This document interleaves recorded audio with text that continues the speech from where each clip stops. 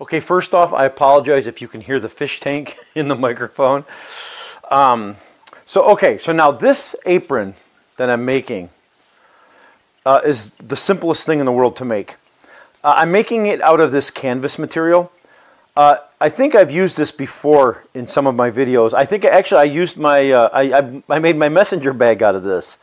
And so uh, I buy this at like Home Depot and you can get it for like, I mean, it's, it's not very much money at all, but it's a huge, I mean, it's like a tarp. And so you get a lot of material for very little money. Now, uh, you could use a pattern material like a, like some kind of a cloth or something with a, a nice design on it. But the beauty of this here canvas, it's really thick. If you're going to use regular cloth with a pattern or something, it's probably going to be very thin. So you'll have to use a, a like an interfacing or something like that.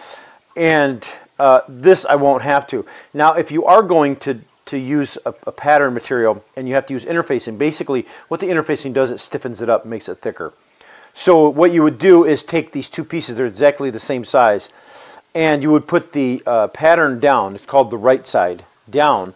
You would put your interfacing on here, you would glue it down, and then you would bring these two together like this, so the right sides are facing, and the interfacing is on each side like this and then you would go from there. This is what I'm doing. So uh, with this here, there's no right side, wrong side. So I'm just going to use it just like it is. That's the beauty of this material. Now this material is two pieces. They're 14 inches wide by 18 inches long. And the 14 wide is going to be the width of the apron. Now this is not a full apron. This is just going to be one that goes around the waist.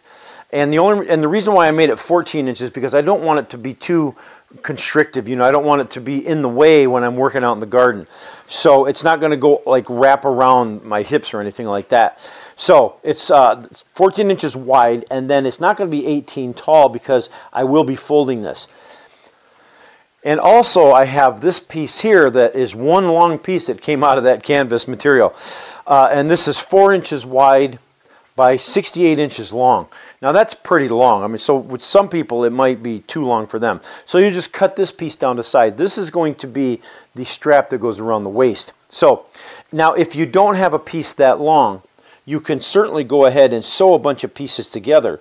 You put them like this, and you're going to want the, uh, if you're using a pattern, the right side would be out, and you would sew the inside like this here, and then um, it would just fold down like this when you do your folding over. So I'll get to that point and I'll explain that folding part. But anyways, so it's just made of three pieces. I've got my two pieces here that are the same size and then my uh, waist strap. So the first thing that I need to do is I'm going to put these together and I'm going to sew along the long edge, short edge, and long edge, leaving one of the short edges open. So I should also mention that I have ironed all of my fabric beforehand.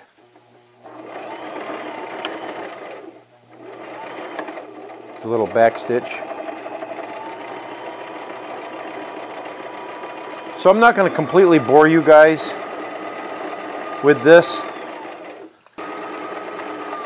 Now when I was sewing my messenger bag, I had a lot of people mention these clips here that I use.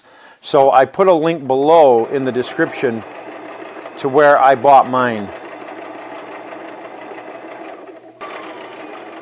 and I end it here with a little back stitch. Okay, so I've sewn around these three edges here, that one, that one, and that one. Um, you can't see it because I've used like a cream colored thread, but it's there. And then this one, this one is open. So what I'm going to do is I'm going to take these corners and cut these corners down. But when you cut these corners, make sure you don't cut into the uh, you don't cut into the thread. So I'm just cutting them down like this. It'll help push it'll help push the corners out a little bit better. Uh, and then turn this inside out. Okay, so it's all turned out. So now I just take the bottom here and I fold it up. I'm going to go a third of the way, about six inches. Now this is where you can make your own adjustments. You can, uh, you know, if it's if 14 is not wide enough for you, then go ahead and you know make it 16 or 18 if you want to. Uh, 18 inches long. Uh, so the pocket's going to be six inches deep and I'm going to have six inches extra here. So uh, you can adjust it if you want. You want deeper pockets, then you can certainly you know raise this up and also go taller with this. So just ad adjust this to the size that you want. But I'm just going to go six inches here because six inches for me is plenty deep. So that's actually six inches about right there. Close.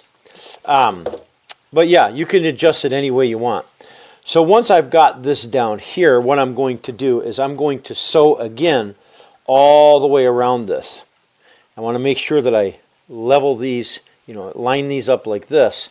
So now what I'm going to do is I'm going to sew all the way around this time, all four edges. Okay, so now you're probably wondering, Tom, why did you sew along the bottom when that was already attached? Um, I don't know. I think it looks nicer. Uh, it's not so like bowed, right? Uh, it flattens it out and it just makes a nice edge here, so that's why I did that. And then up here, I'm going to be putting my strap on, so I didn't have to do a, a seam there, but I did anyways because I think it just makes it a, a little stronger, so that's why I did it. Uh, now, as far as the pockets go, uh, I'm just going to go ahead and put a stitch in here wherever I think I want a pocket. Now, I always use my Sharpie, so I'm going to put a spot here for my Sharpie. Uh, seed packets, I want to make sure that I have a spot for those. So let's put it, line up a couple things here and see where we want them to go. Okay, so I've got my Sharpie and I've got my seeds from Grow Your Heirlooms, of course. And then um, I'm not, what I, when I have an apron on, with pockets, I don't put hard things like clippers or any kind of a dangerous tool because I just don't like having them there. I always put them on my side in a different pouch. So this is pretty much for when I'm sowing seeds or, or something like that. I'm doing, you know, marking tags and things like that. So this is what it's for. So I'm just going to go ahead, I'm going to put a stitch here. I'm going to put one here. And then what I'll do is I will put another one right here in the center here. So I'm going to have one, two, three stitches here like that. So you're probably wondering, how did I make my marks here to guide my uh, sewing machine? Uh, basically, I just used a pencil here. With this canvas stuff, a pencil mark just uh, erases right out. Now you can also use a piece of chalk if you have it. Uh, they make special pens for fabric that wash right out, uh, but I, I don't. I, I've never had really good luck with them, and I think they're expensive. So anyways, with canvas, this just erases right out. So now let's go ahead and start on the strap on top. Okay, so the last thing we have to do is the strap. Now, uh, it, at the ends here, this since this was a whole piece off of the the canvas, the all the whole perimeter of it had a stitching already, right? It was just folded over and stitched. If you don't have that, then, you know, if you had to piece a bunch of pieces together, then you'll probably have just an open stitch. And then what you want to, or open piece of fabric, you'll just want to fold it over and put a, uh, uh, put a stitch in like this just to keep it from fraying and you won't have an end you know you won't have an open piece when this is done so uh, anyways or also you could you know when once this is all done at the end you could fold this over put a stitch in here uh, any way you want to do it doesn't matter, but I just like the fact that there's already a stitch here. If you don't have it, fold it over, put a stitch in, then you're done. Now this being four inches, what I'm going to do is fold this in half to two inches, right? So I'm going to fold this over like this, and I'm going to go ahead and I'm going to iron this whole thing down. Then once it's ironed, I'm going to open it up and there'll be a crease here from that. Then I'll take this each side and I'll fold them into the crease like this and then I will go ahead and I will iron it again and flatten it out. Okay, so I folded it in half, ironed it, folded these two sides in, ironed it again, and folded it this way and ironed it one last time. So I end up with a one inch piece.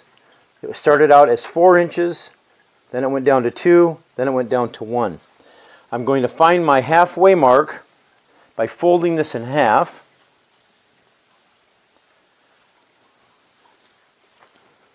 So that's halfway right there. I'm just going to put this mark right here. And then halfway on my apron, right there. And then to finish this off, I'm going to take my mark here, line it up with that one, fold it over, and then I'm going to stitch this whole thing. Not just here where the uh, apron is, but all the way down. I'm going to put a stitch right along here. And there is the finished apron. Easy peasy, simple to make. Took me about an hour to make this thing. Um, it's not going to win any fancy awards, but very functional and just about anybody can make this. Okay, thanks a lot for watching, guys, and don't forget to subscribe and uh, hit the little bell so you'll get notifications when I upload a new video. We'll catch you later.